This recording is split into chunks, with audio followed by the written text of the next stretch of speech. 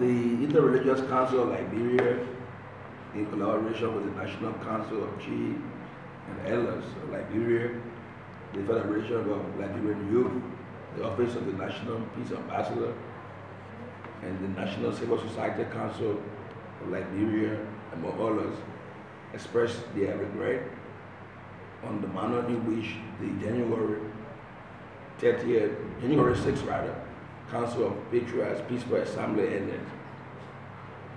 We condemn all forms of violence in our body politic. It asks all stakeholders to exercise civility and tolerance in resolving our, our issues of national concerns. The Interreligious Council and collaborating partner called on the governor of Liberia in demonstration of good governance to continue to uphold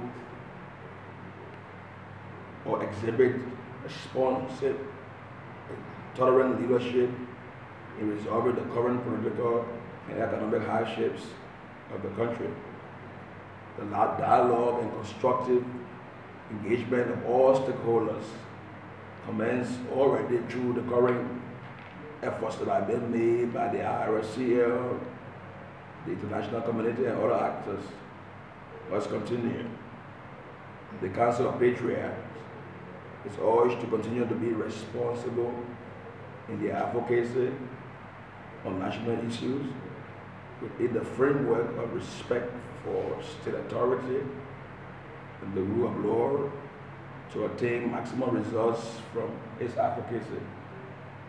We call on the international community to continue to remain engaged with government and all stakeholders to continue to consolidate peace and stability in Liberia.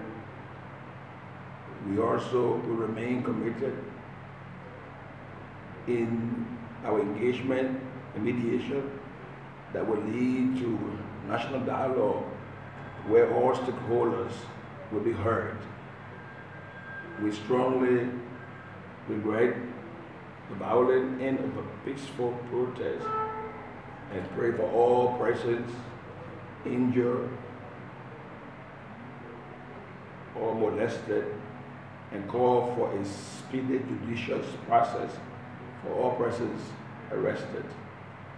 Liberia is all we have, therefore maintaining the peace and stability is the duty and shared responsibility of all citizens and residents.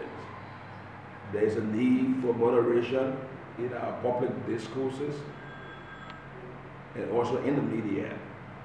Lastly, we acknowledge that there are serious issues confronting us as a people and the need to sit among, around the table and hold discussions in a national dialogue that involves all stakeholders, including political parties, civil society, marketeers, students, business people, on the way forward.